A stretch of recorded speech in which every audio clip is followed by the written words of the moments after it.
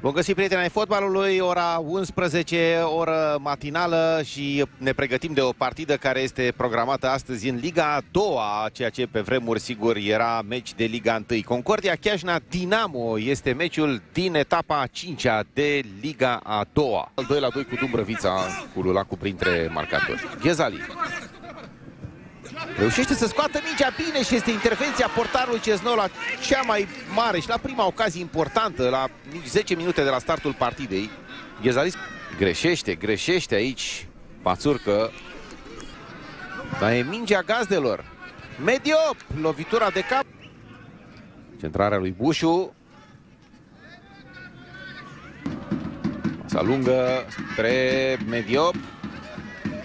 Mingea respinsă de acolo la Dudea și este intervenția lui uh, Filip Duimovic.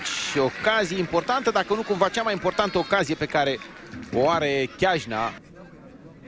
Bun șutul. Bun șutul lui uh, Mediop. Ceea ce se întâmplă în fața propriului careu. Și aici o verticalizare interesantă, șutul la poartă, intervenție fantastică, Cesno. Bordușanu este din nou ocazie mare pe care o are Dinamo. Cred că e mai mare ocazia decât bara pe care a avut-o Patriche.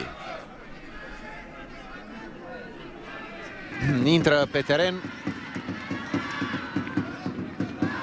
în locul lui Mediop, că n-ar mai putea fizic. 34 de ani a făcut acum uh, o lună aproximativ Raul Rusescu Ultima dată a jucat în serie D la Meția Terme. Frumos, frumos. Centrarea nu e chiar cea mai bună, dar mingea rămâne acolo și e poziție de gol pe care îl marchează spaniolul Iglesias.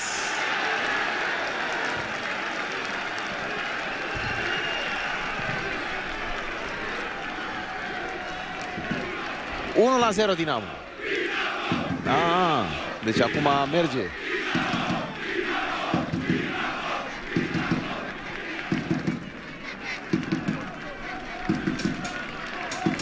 Foarte bună minge trimisă în careu de Ghezali. Foarte bine se descurcă acest jucător spaniol.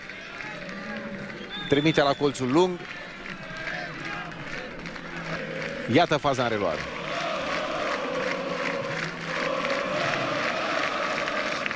Aici îl întoarce elegant pe stănică.